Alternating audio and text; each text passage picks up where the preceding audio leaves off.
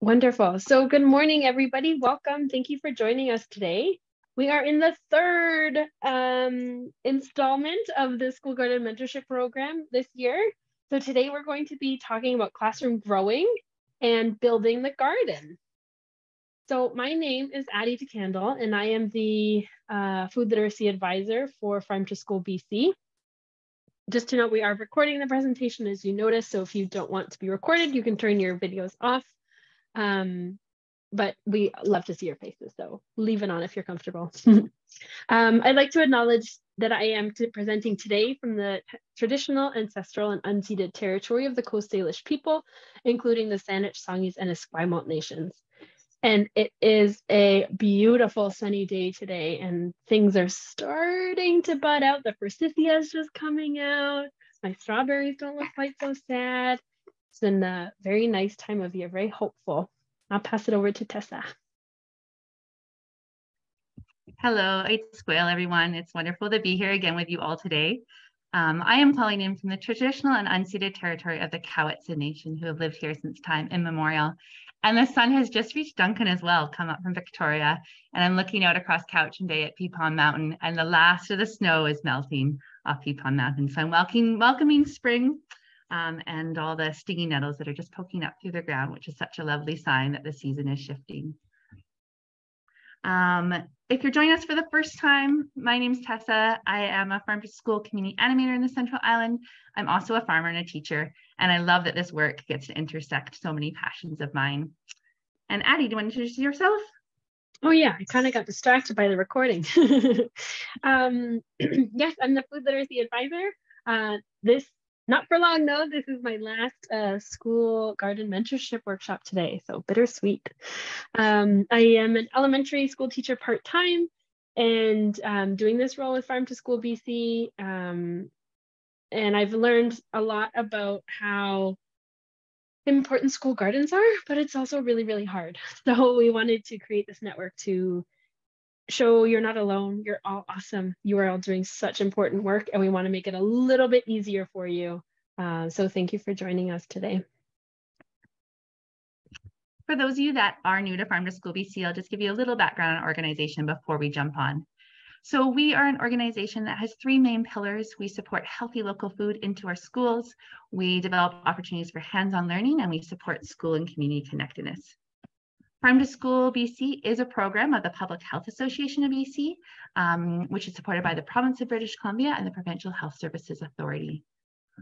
Farm to School BC is organized into eight regional hubs across the province.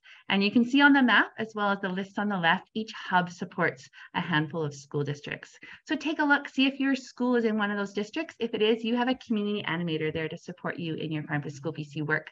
Um, if it doesn't fall in one of those regions, please still reach out to Addie and I, and we can still offer support to you. Here's a quick overview of the team at Farm to School BC. Um, and head on over to our website. You can see more information about the community animators and the regions and connect with the community animator in your area. So like Addie mentioned, we have a very full agenda for our workshop today. Um, I feel like we're just cusping into spring. And so there's so much to talk about this time of year as we get ready for the growing season ahead. So Addie's gonna start us off by talking about how to choose crops, which ones to grow, how and when to plant them. She is also the behind the scenes worker of all the amazing crop planning resources you see on our website. So it's great to have Addie here to share some of those resources with you. After that, we'll talk about how to grow seedlings inside, and we get to hear from a guest speaker who sent in a video, and he has a very inspiring setup in his classroom growing seedlings. And last, we'll finish off moving to growing outside and how you're getting ready to build your garden beds and set up your garden for spring on its way. Like I mentioned, um, we will have a video from Paul Denby today. He is an elementary school teacher in Kamloops um, and is growing seedlings inside as well as so many other cool projects. And we'll share that later on in the workshop today. So I'm going to hand it over to Addie to get us started on our first topic. Awesome. So, okay, get ready. You are going to have a bunch of information thrown at you. So take it as you can. If you know this stuff, awesome. And if not, this has taken me a few years to kind of get a good understanding of. So here we go. We're going to dive in. Um, if you are anything like me, when you go to the gardening store these days, there are aisles and aisles full of seeds, and they are so beautiful and it's so exciting, but also immediately overwhelming. So we are going to talk about how to choose the right crops for your um, for your garden this year and to figure out maybe you shouldn't buy 20 different things this year. Figure out what you're going to focus in on. So the important place to start is well, what can I grow where I am? So consider where you are in the province. Um, you can check out the plant hardiness zones. We have a link on our program library page here. You can see a bit of a visual. It's going to be different. So one thing that you need to uh, look up, it's really easy to find on the internet. What is the last date in spring that your area gets frost? And what is the first date in the fall that you get frost again? So between those two frost-free dates is your growing season. So this is no, no, season extension, no greenhouses, no extra anything. When do you get frost? Where do you live? And then when you look to your garden, you have a look at it, notice it, go outside different times of day through the year. How much light is in your garden? Is it pretty shady? Does it get a little bit of sun? Or is it full sun, total amazing solar exposure? So different crops are going to grow in different um, amounts of sunlight. So lettuce it's going to bolt really quickly in the heat. So it's going to really like the spring times and that partial sh sun shady areas where the solanaceae, the peppers, the tomatoes, the, they need the sol, the sun to grow. So they need that full sun growing area. Also, look at how much space. I always grow way too many plants for my um, space, which I kind of do intentionally because it's there's always some crop loss and it's nice to share extras, but you don't want to overdo it either. So how much square footage do you have? Measure out your garden beds. If you're going to be incorporating it, some edible landscaping into your school zone, that would be super cool. Um, but figure out how much space you need to fill. So then when you're thinking about the crops themselves, some of the seeds are going to be planted inside to, they'll need a bit of a head start, or they're going to go right into the garden. Um, and if they're planted inside, do you have the infrastructure? So once you've thought about those questions, um, you're going to then turn to your classroom and say, well, what can we grow, but what do we want to grow? So you've narrowed down that huge aisle full of hundreds of seeds and varieties to what you can grow. And then within that subset, what do we want to grow here? So what's your budget? Can you only grow have enough money to buy seeds or do you have a little bit more money because you need to purchase seedlings? Um, what is your time frame can you plant right after spring break or really do you only have time to start getting ready in may? So if you only you know your units don't line up you can't like mental load i totally get it. You don't want to think about growing seeds then just buy seedlings later on in the year and then when you're planting, you want to be thinking about, well, what do we want to grow and eat? I don't like chard, so I don't grow chard, but I grew it for like four years until finally coming to terms with, I don't need to grow this anymore. It's fine. Um, and when you're going to harvest it, what are you going to do with that food? It's so exciting to plant all these different foods. But if you don't have a plan, I've seen so much food go to waste at schools because they didn't plan how they were going to use it. So Robin shared in our discussion group a couple of weeks ago that they grow on Salt Spring a fall um, soup. So everything that's planted after June is going into this soup. They have, it really provides a structure for the fall crops that they want. And um, there's a plan for how they're gonna eat it. And in the spring, it's just a salad. You're just planting all sorts of different greens, and it's harvested, whatever size it is, into a salad. So I love that it's providing some constraints and how you're going to eat it at the end. Um, you can also be thinking about companion planting. We'll have more resources on our program library page. Um, what plants like strawberries really like to grow with dill because they're going to attract those pollinators to the strawberries and repel the pests that work well for strawberries. So if there's a couple of core crops you really want to grow, you can look into what grows well with those crops. So there's a, a few terms that we need to get into before I get too far. So these are on our worksheet. Um, they are on our program library page that I'll put a link into in the chat in a minute. Um, but indoor sow, all that means is that you're planting them inside. So those crops are ones that need a head start. And Then you're going to transplant those outside. So transplanting is just planting the seedlings that you've grown inside or you've purchased into your garden.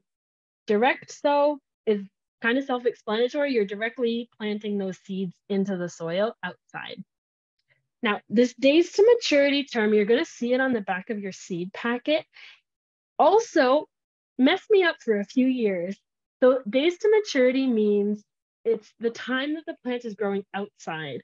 So if you've planted it inside, those weeks of growing inside do not count. So if you look at tomatoes, they might say it needs 100 days to maturity.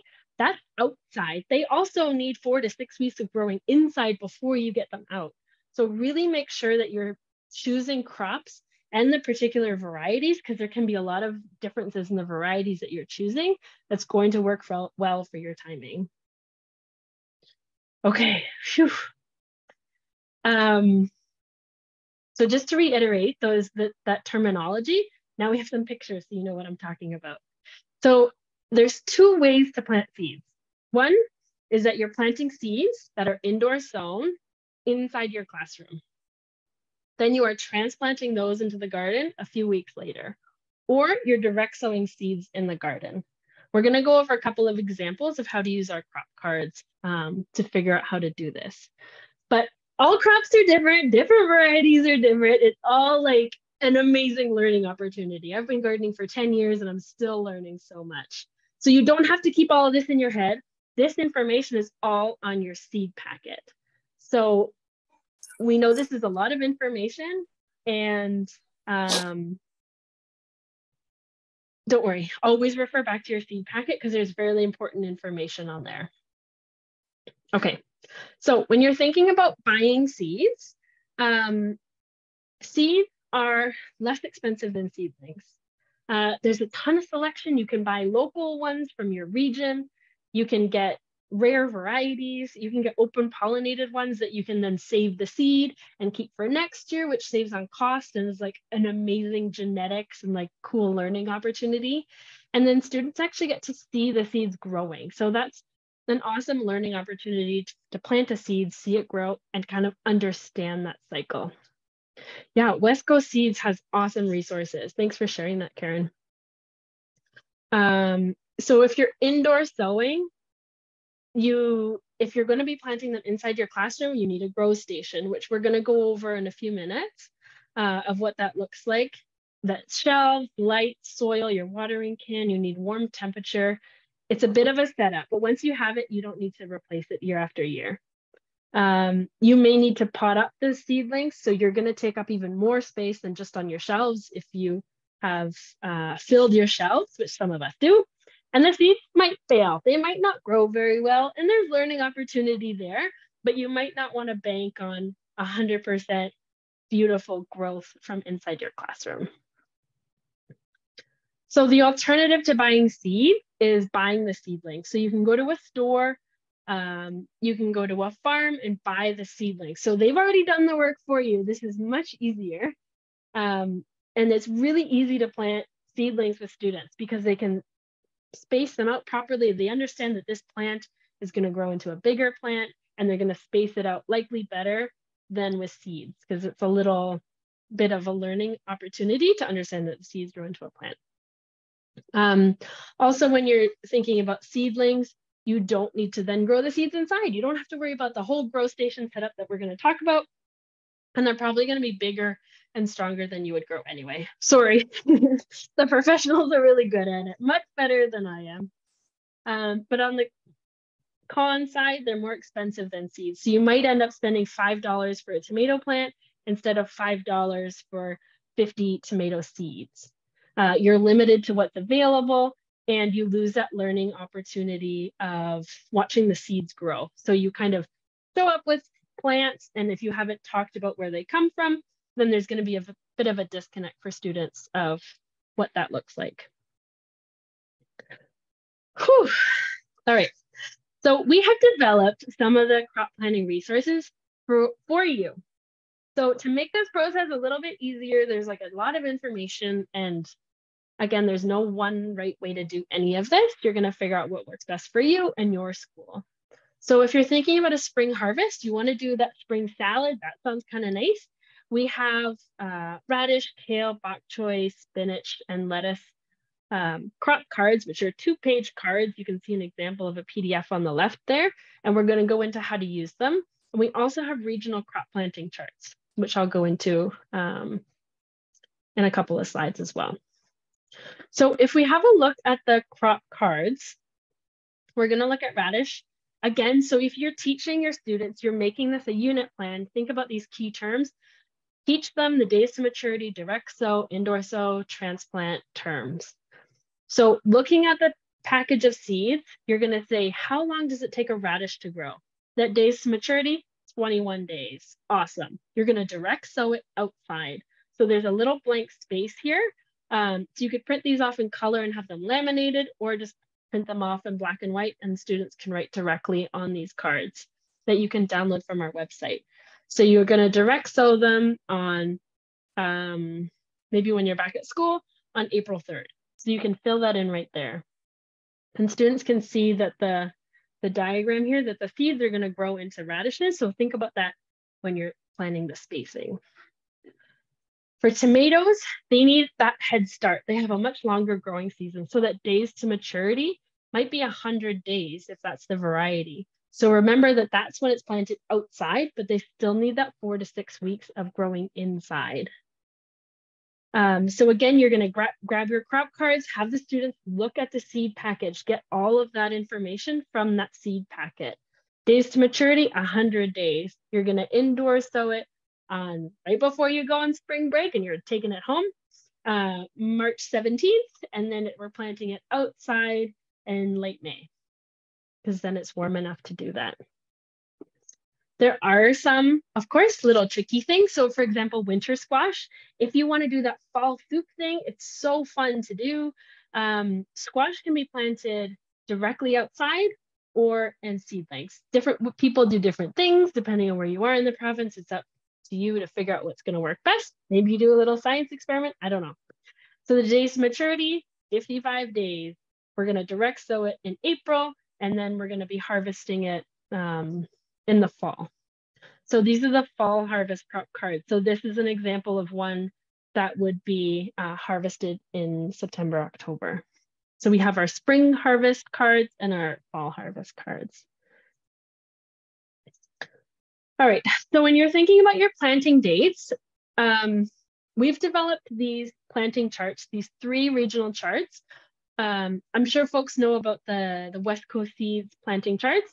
So those are really focused on um, people growing anytime. So we've skewed the dates to not have a harvest when we're not there in July and August. So um, I'll go for an example for the interior. Um, so have a look at this screen here. You can see the green leaves are when you are harvesting them. So for example, for arugula, you can be harvesting at different sizes. You're gonna be harvesting it a few times. Uh, we'll put the link, it's on our uh, program library page, but we'll put a link to these in the chat as well. Um, you're gonna be harvesting them for a few weeks in May and June. So you're direct seeding them. Uh, you see that the yellow kind of seed. You're gonna be planting everything when you come back from spring break and early April outside, and then eating them whenever they're, whatever size they are before you get out for the summertime. And you can see the coast and the north. So these were developed um, with different organizations across the province.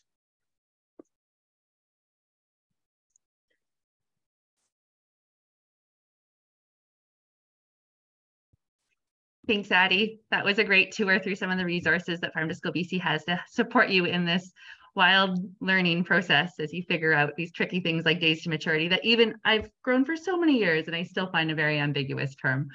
Um, so good luck along this journey. It's such a great learning opportunity. Now that you know what you want to grow and when you need to plant it, and if you need to plant it inside or outside, we are going to look at how you would start those seedlings inside.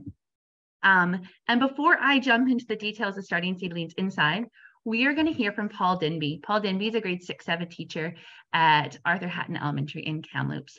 And not only does he have a great setup for growing seedlings inside, he also grows microgreens and sells them to restaurants and has this phenomenal school garden that the community is welcome into and they actually sell their extra produce um, as fundraising opportunities at the farmers market. So a really inspirational school gardener. We're just going to get a quick overview of how he starts his seeds, um, but always nice to be inspired by what you can do over years working with your school garden.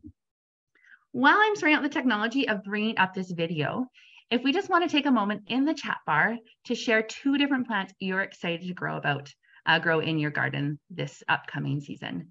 So take a moment, write in the chat a couple plants you are excited to grow in your school garden. And I'm going to take a minute to pull up this video.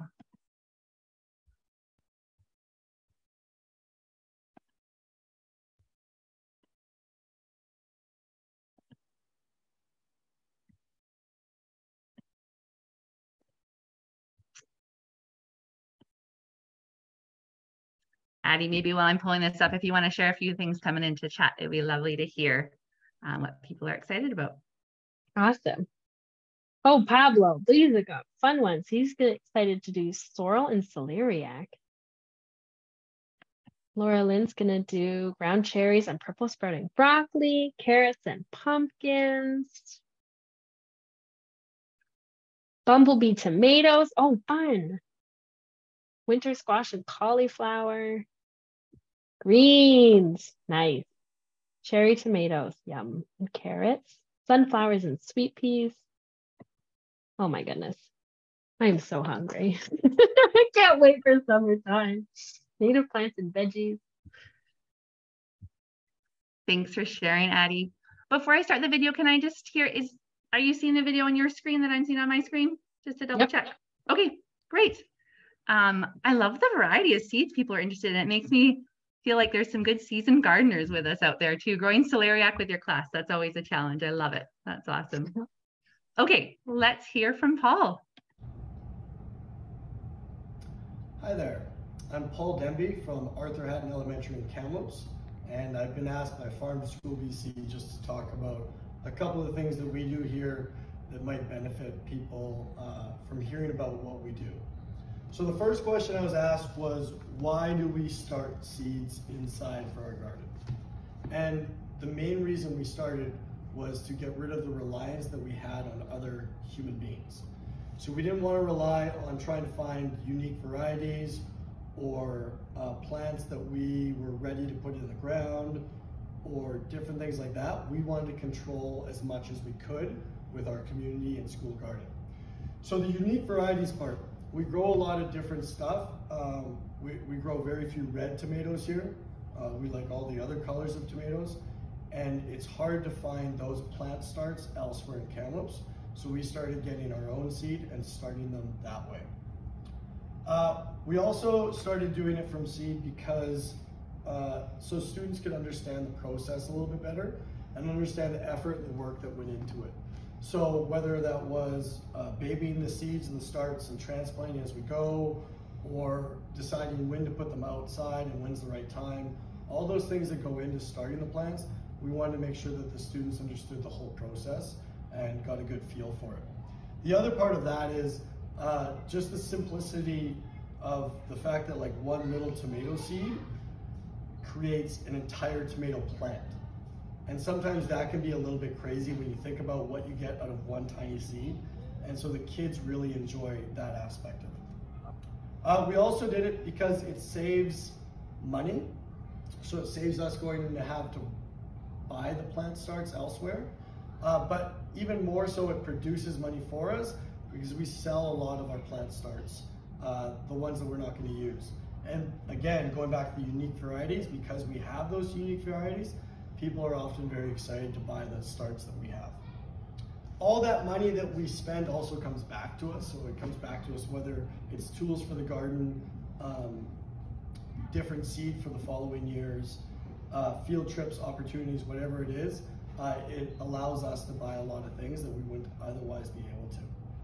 And then unique varieties, going back to one more time, is really big for us because when we go to the farmer's market, we're often the only ones that have the dark purple tomatoes or the striated yellow and red tomatoes or whatever it is. we're often the only ones that have those in town. So it creates a lot of excitement through our Instagram uh, feed that way. So one more thing I'm, I'm supposed to do before I let you go, perfect time, um, is I, I want to show you our grow setup. I was asked to show you the grow setup and what we do. So come with me, Mr. Rogers style.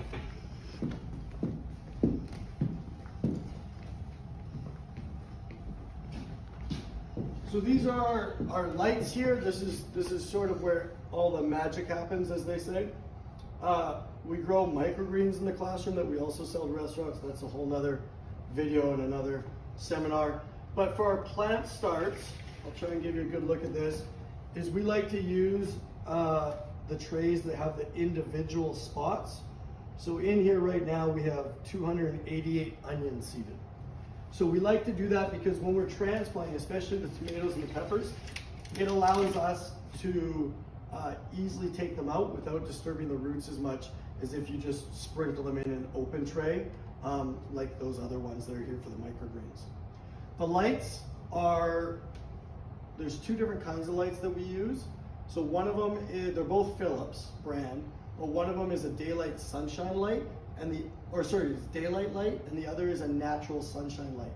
One of them has a 5,000K rating, the other has a 6,500K rating. I can't remember which is which, but for the microgreens, we need at least 5,000K uh, for our, our microgreens to grow properly, so that's part of it. The other thing, we often have a heater sitting here, even though there's a lot of heat that comes up from our lights. Um, we still like to have the added heat especially when seeds are uh, getting started. And then lastly, for watering, I don't know where this came from or why this ended up here, but it's an awesome little tool uh, that allows for easy watering of the of the seeds of the starts um, without disturbing them or, or over watering them and pushing them down into the soil. Oh, and soil, last thing, we use uh, HP uh, ProMix uh, usually the one with mycorrhizae, my, something like that. So we use that to use for all our microgreens and our seed starts. Even when we transplant, we might add a little bit of extra stuff, um, but that's down the road. That's two transplant sessions away from now. So hopefully, hopefully you've learned something. Uh, hopefully this made a little bit of sense. And if you have more questions, I'm sure you can follow up with Addie or you can follow us on our Arthur Hatton Garden on Instagram. Uh, so thank you for your time. Appreciate it. Wonderful. We wanted to start with that video to give you a sense of what this can look like in a classroom. I really recommend, um, Paul mentioned that they have an Instagram feed. I would recommend following that Arthur Hatton Garden, um, and we can put a link to that. But there's a lot of inspiring work going on at that school. I'm just going to pull up the PowerPoint and we'll share some more details on this.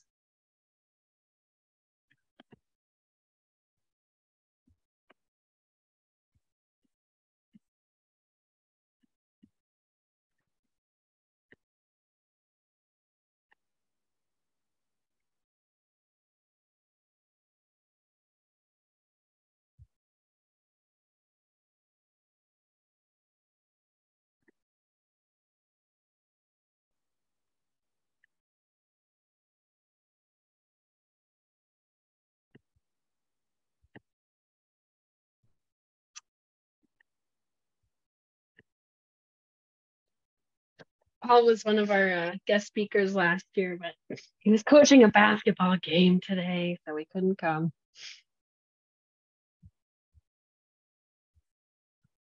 Okay. Addie, just checking in. Are you seeing the screen correctly? Yep, we're good. Thank okay. you. Great. Um, so Paul shared a great overview and shared some of the reasons why he's inspired to grow seedlings in his class. I want to just start by sharing a story of one of the reasons why I'm inspired to grow seedlings um, in classrooms as well. So this story comes from a couple years ago. I was teaching a grade six, seven class, and I had this slightly harebrained idea that I would let all students pair up and choose any seed from the West Coast Seed Catalog that they wanted to grow, and we would figure out how to grow it. Um, so I had two students decide to grow broccoli, and they chose this variety called Green Magic. And they looked at the days to maturity, they did some research and decided, okay, we need to start this inside in order to have hopes of being able to harvest broccoli for a salad before the school got out for the summer. So we set up an indoor grow station and they started growing their broccolis and they monitored them every day. They were watering them, they were measuring their growth. Um, and finally, it was early May, and we decided time to transplant those outside. So they took their little seedlings and they put them outside. You can see that picture on the left. Um, there's a red circle around a tiny broccoli seedling, um, and they're covering that with some floating row cover we made to protect that seedling from the cold days um, in early May. Fortunately, in May, we also had a donation from a farmer of a bunch of broccoli seedlings. And you can see in the picture of the right, there's our students' little broccoli seeding that they have fostered uh, in the classroom mixed in with the farmer's seedlings that they offered as well. And those students continued to tend the broccoli throughout May. And by kind of mid-June, they had this beautiful head of broccoli that we got to cut up and put into our spring harvest salad. And they were really proud of this wonderful broccoli that they had contributed to the salad. Um, by that point, uh, their broccoli that they shared in the classroom was still a little seedling, and the broccoli that they had shared in the salad was from the farmer's um, donation of their transplants.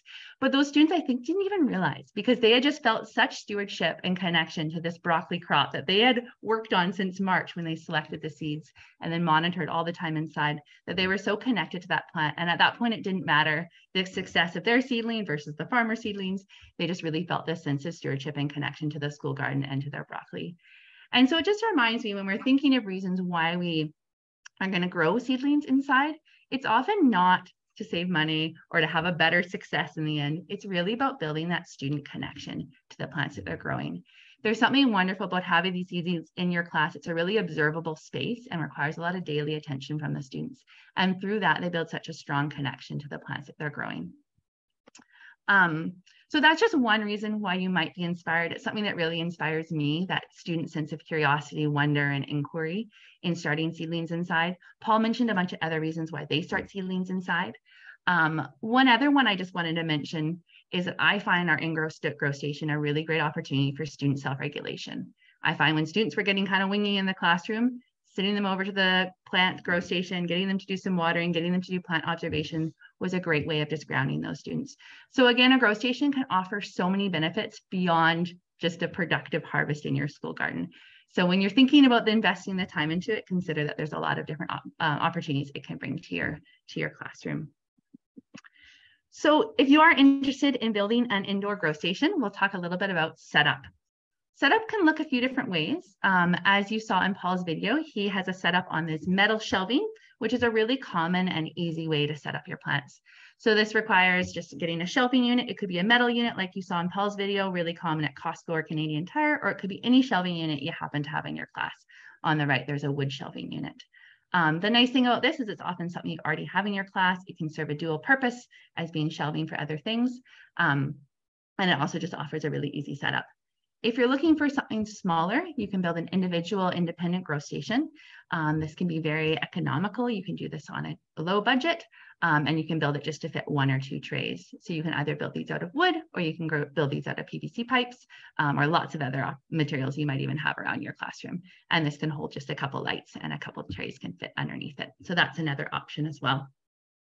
If you are wanting to build one of these independent grow stations in your classroom, there is a great video. Um, it was a webinar recorded last year by Farm to School BC, getting into all the details about how to build one of these. It looks at all the tools you need, the materials you need, how to budget it out, how to build it in your classroom. Um, so I do recommend we'll link that in our program library, but head on over and check out um, all the details of how to build one of these if you're looking at doing that in your classroom. Regardless of the grow station you have, you will need um, lights for that grow station, and you can use any full spectrum lights. So those can be LEDs, those can be fluorescent lights. I really like the LED ones because they don't heat up. The bulbs are very sturdy. It's hard to break those LED bulbs, um, and they have a low energy draw. Um, doesn't need to be a specific grow lamp, but if you go online, there are tons of options for great lights for grow stations. Um, another um, equipment item that some people use is a heated seed mat. They are a water resistant mat that goes underneath your soil tray to warm up the soil. This can speed up germination for those heat loving plants like peppers and tomatoes. However, it's not necessary. Paul in his video had a little kind of space heater, um, but just a classroom ambient temperature will be enough to trigger germination for the plants you'll be growing for your school garden. A couple more things to consider when you're setting up lights. These lights will need to be on for 16 hours a day. So it's great if you can set them up on a timer.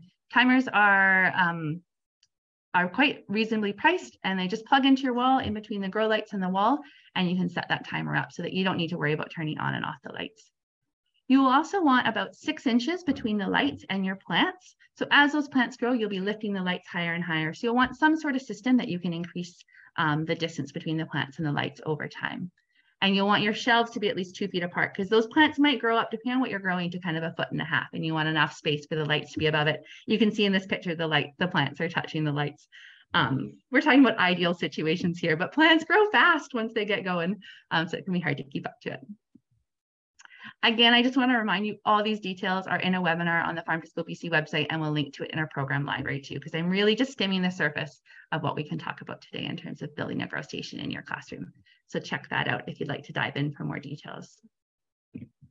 Okay, so you've got your grow station, you got your lights, you got your timer, you got your trays ready to go. Now it's time to plant.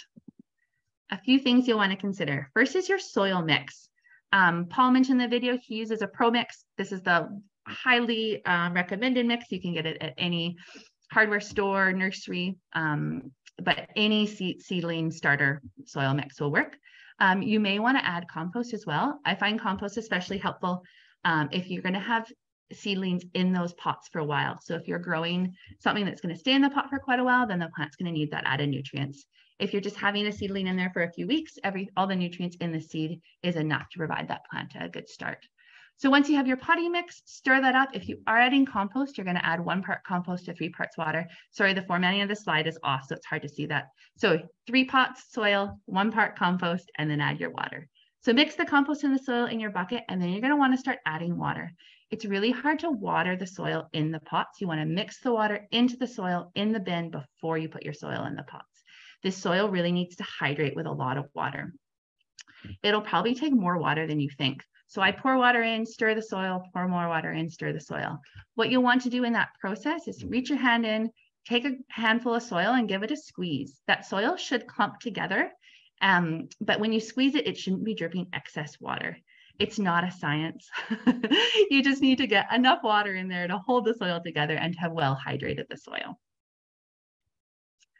Okay, so once you have your soil ready, the next thing is getting that soil into your pots. There's a few things to mention about this.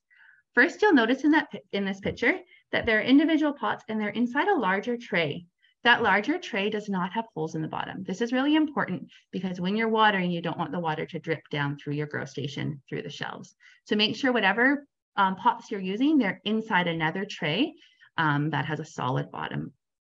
Then in terms of what pots you're gonna be using, um, it depends on a few factors. Paul held, Paul held up a big tray, I think it was 188 little transplant cells within that tray. Um, the size of cell depends on how long those plants are going to be in there. So if you're growing a plant that's only going to be in the grow station for a month, something like lettuce, you can use small cells because you're going to be transplanting that outside. Or if you're growing a plant like tomatoes and peppers that you're going to pot up, you can also use small cells because you'll be potting that up into a bigger plant. Um, if you're growing something like squash or zucchini, you don't want to be potting that up and those plants grow really quickly. So you're going to want to start those in one of those bigger pots, the four by four square pots. So look at your different pot options um, and see what meets your, your requirements. Um, the next thing you'll notice in this picture is the labels. Labeling is so important. Every year, I'm like, I'm going to do a better job at labeling this year. And somehow it gets mixed up. And I don't know if it's kids moving trays or labels, but it, it always gets confusing. And the tomatoes all look so similar, all the different varieties. Um, so when in doubt, add more labels. I like to label every cell. I know that sounds overkill, but it depends on how you're moving things around. It can get really confusing. Um, the labels in this picture are likely purchased, but a cheap way to make plastic labels is just to cut up a plastic uh, Tupperware container and then use a permanent Sharpie marker on those, or you can use popsicle sticks uh, written on with pencil, that works as well. I like to fill my pots with soil, label them before I get the seeds out. So get all set up and then bring the seeds out to seed with the students. Okay, so you've got your grow station set up. You've got your soil in your containers. You've seeded your trays. They're all beautiful on your trays. The lights are shining down on them. Now it's time to wait and watch for those seedlings to come up. This is where the magic starts. I feel like this is the daily monitoring that really engages the students in this sort of work. So I, I inquire, I, I um, invite you to incorporate students throughout this whole process. There's ADST and building the grow station. There's so much math that can be incorporated in to that as well. Um, but I feel like this daily monitoring, if you haven't included the students yet, this is a really great opportunity to get the students involved. Um, you can use some sort of observation sheet, observation checklist to help you engage the students in these monitoring tasks. Um, the sort of things you're encouraging students to look for daily is looking for, are these plants adequately watered? Um, how are they growing? You could chart the growth of these plants. You wanna look at the color of the leaves. Yellow leaves or purple leaves are a sign that there's a nutrient deficiency. So encourage the students to do the daily monitoring. You also wanna do daily watering, and we're gonna get into water in a minute, um, get more details into that because that's, that's trickier than it seems. Um, other things that you're caring for with the plants over the time is probably every week, once the plants are really growing, you're lifting up those lights. And about every month, you're either needing to pot up those plants into bigger pots or it's time to transplant those plants outside, depending on the variety. So in terms of watering, um, it can be tricky to know if you're watering your plants enough. Um, one thing with watering that you want to be careful is when you're watering, you're really wanting to promote great root development. So you're wanting the water to reach all the way to the bottom of the tray. If you're just watering the surface, those plants won't develop as robust root structure. Um, so when you're watering, a couple tips to make sure you're watering all the way through, lift up those individual pot, plant pots and see if there's some water coming into the bottom tray. You want the water to just be dripping through those plant, plant pots. Once you get a sense of what's enough water, lift up the tray and feel it. Going by weight is a great way to see if you have enough water. Um, you can also look for signs from your plants. And this is an obvious one. The picture on the left is a plant not getting enough water. Don't worry, it's, don't, it's not dead. Plants can be real drama queens. And as soon as you give them water, they'll perk, perk back up. And the picture on the right is plants that are overwatered. Again, don't worry, that green algae is just a sign there's too much water. You can scrape it off. The transplants are still fine, but alter your watering. Just to go back for a few more tips on watering to make sure you're watering them adequately. Um, I would focus on the edges of your trays. The center is usually overwatered and the edges are usually dry. So do a, a, lap around the edges of your trays before you go to the center. And you can also flip the trays um, just to get avoid that human error of overwatering certain sections. Paul showed that great watering device and here's a picture of it again. You can buy them at a dollar store, um, but they're really nice. You fill them with water, pressurize it at the top by giving it a pump, and then you can water the seedlings. Um, and it's a great tool for students to use as well. A tip um, that can be useful for your students if you figure out how much water your grow setup needs, make a marker that's, that's tape on this one that shows how much water to put in the device and then make sure the students are using that full amount of water when they water your seedlings. So there's a few tips on watering. Um, another thing to help you conserve water is you can put these domes over your trays. These domes allow for the evaporated water to be caught and kept within the system. They can be especially great if you're away for a long weekend and worried about your watering your plants. Um, two last things I just want to mention. Paul mentioned in his video the opportunity of using seedlings for a fundraiser. So if you're really excited about this indoor grow growing, um, perhaps you want to plant a few extra seeds this year. Um, and it is an opportunity to sell those seeds back to your school community, or in Paul's case, he uses the farmer's market as an avenue to sell the seedlings, and that money comes back into the garden to help fund the programs. Um, it can be a neat kind of entrepreneurial project for your class as well. So just wanted to share that as an inspiration. One last thing I just want to mention is growing seeds inside. It's such a great opportunity for science inquiry.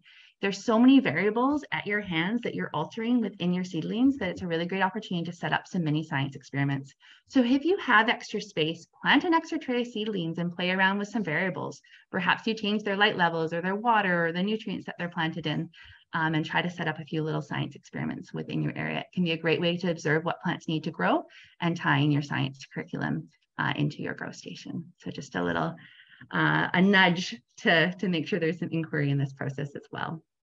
So that's a really quick overview of a lot um, going on with growing seeds indoors. And like I said, there's a extensive uh, farm to school workshop that we'll link to on our website to give you all the nitty gritty of how to get your seedlings set up indoors. And Addie, I'm going to pass it back to you. Awesome.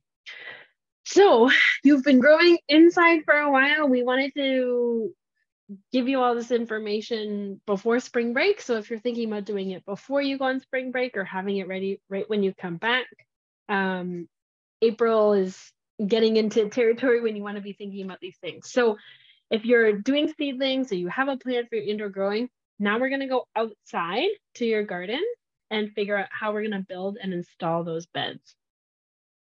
So when we think about garden beds, which are the most common um, ways of growing that we see in school gardens, there's three main types. There's raised beds, planter beds, and growing sets. So raised beds are um, usually rectangular. Um, thank you.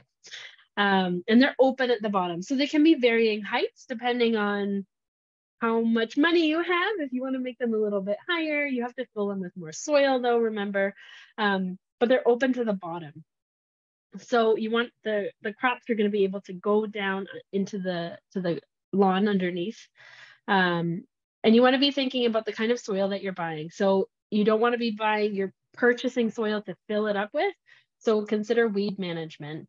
And you're also going to have um, plants that might come up underneath. Like my dandelions, they are voracious. They will pop up through like a foot of soil on top of them. They will come out. But that's okay. They're pulling up magnesium. Um, so think about planter boxes. They're really useful. Students are not going to walk on them. Um, they're really nice for mapping. So when you're thinking about the size of the beds, you really don't want them wider than 36 inches because little arms are going to have a hard time reaching it all the way across and from both sides. Um, if you have, for, in terms of length, you can make them however long you want, but if you make them more than eight feet, they're going to bow out um, when you fill them with soil. So make sure you can see the picture on the right, just a board that goes through, and even the one on the left, as soon as it gets really long, when you fill it with soil, it will, um, yeah, expand. So when you think about the corners of the the beds, you can either use nails or screws, but when it's full of soil, you're not going to be able to move the screws again. So they're kind of permanent in that sense. Um, making sure they're at least four inches long to make sure they go through the two inches of the edge and then two inches into the board because you don't want the, the boards to fall off because the nails or screws were too small. Um, you can see in this picture that the, the boards are at least two inches thick you don't need to go thicker, but also don't go thinner. You really want that two inches. And remember that um, dimensional lumber is not quite true two inches. So remember that when you're when you're out buying wood. So another option is planter boxes. So I've seen these um, planter boxes usually have the, the bottoms in them. The ones on the left don't uh, in the picture here, but I've seen lots of schools in Kamloops, they used to have, they have a lot of courtyards. So you can just put them right on top of the pavement or right outside your schools. They're not growing into the ground underneath the, the garden. So you wanna make sure that they're deep enough um, to make sure that the plants have enough space for all their roots and like a carrot you think like how long a carrot is if you at least want it that long it's going to need to be a bit longer than that so these are can be a bit more expensive because you have more wood and more soil that's going into them. Um, but you can customize them to what you want. So the ones on the left, they have a little bit of sedate around the edges and the ones on the right uh, don't. So you can make them look however you like. So when you're thinking about the, the bottoms of these, you want to put some fabric or something so the soil is not sitting right on the wood. Um, you can use landscaping fabric or potato or coffee sacks, whatever that will eventually bio disintegrate. Um, but you don't really want anything plastic because it'll just kind of disintegrate into the soil and get little bits of plastic everywhere. So you can just use a staple gun uh, and just attach it to the sides of the boxes. You can also incorporate seating and color. Like I love this picture. It's got lots of color and kid writing on the, the veggie signs. It's really fun. Um, so you can make it whatever shape. Remember irrigation though. Um, the shape of the beds will need to get watered, but you can customize it if you are building things from scratch.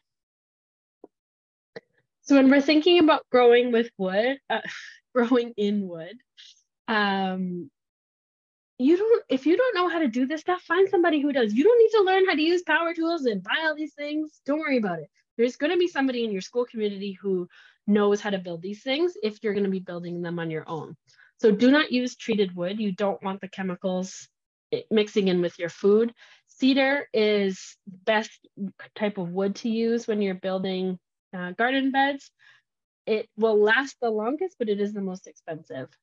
Um, Megan Zenny brought this up in our last workshop that if you can stagger when you're building new beds, that's ideal because then you don't have to replace them all in the same year.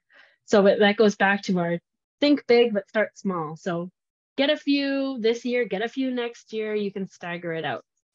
Again, you want that two inch thickness of wood and the height of the bed should, should serve a purpose. So maybe you want it to be accessible by wheelchairs or for kindies so they don't have to bend over. Um, you can design it for what's going to work best for your school. And again, four inch nails or screws when attaching them at the corners. Another option is grow sacks. Um, they're relatively cheap and easy to install. You don't need any tools or anything. Um, and again, you don't really have to worry about weeds because you're buying soil and putting them in the grow sacks. So it's a woven fabric. It's permeable. They come in lots of different sizes. Um, and usually the 15 gallon ones can handle tomatoes and squash and stuff. So what's nice about this is you can try out a space and put them there for a year and then move them again later. They have handles, so they're not that heavy and you can move them really easily. So Tessa is going to talk about preparing the ground underneath these things. Great, thanks, Addie. So if you are growing a raised plant or a raised bed, uh, you're likely connecting to the soil underneath. Or perhaps you're one of the few examples of a school garden that you're digging straight into the ground um, in your schoolyard. And so either way, you're gonna likely have lawn that you need to get rid of. Um, so this is a really inspirational picture just to start us off. This is the school farm at David Thompson Secondary School in Vancouver. And they turned this grass field into a market garden with the help of Fresh Roots, an awesome uh, community partner organization working in Vancouver. So a few options to get rid of the lawn. If you're on a um, you want to do this quickly, you can just get a sod cutter and you can just cut off the sod and pull it back to expose the soil underneath. If you have a bit more time, a great option can be to lay a tarp down. You want a heavy duty tarp that you lay over the lawn. Ideally, this is something you do in the fall and let the grass die throughout the winter. Um, tarps can be great in that in addition to killing the grass, it also starts warming up the soil, getting the nutrients available in the soil ready to grow for the spring. Um, so do consider that as an option as well. Um, another option, instead of getting rid of the lawn, is to grow on top of the lawn. So a common method used in school gardens is lasagna gardening or called sheet mulching.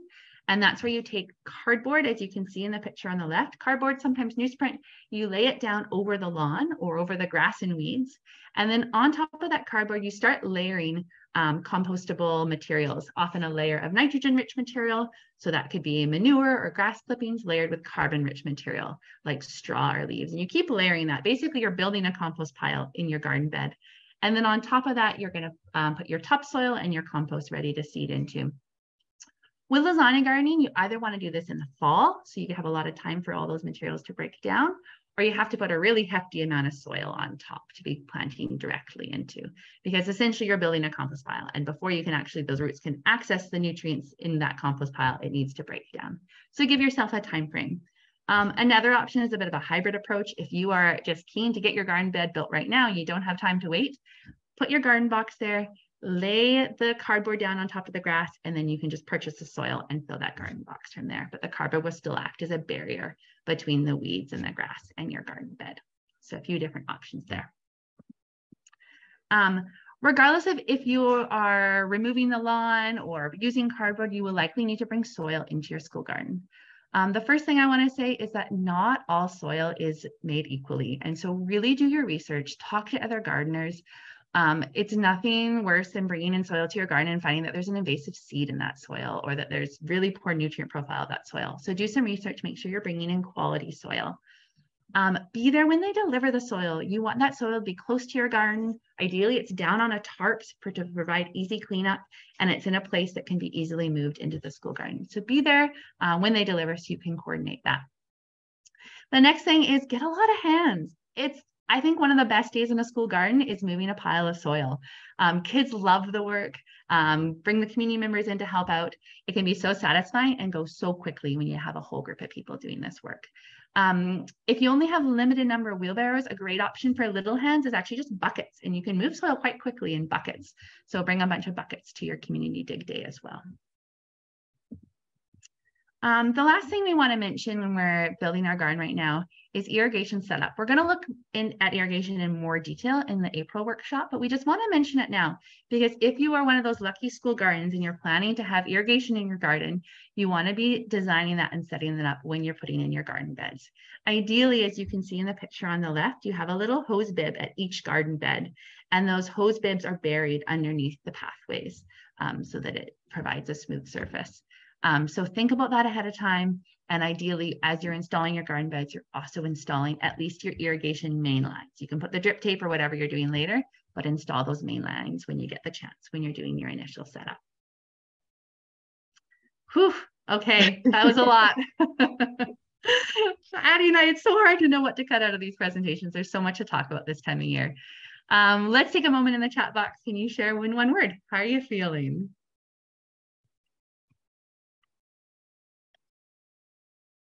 Crazy excited, excited, ready. Yay! Excited. Thank you.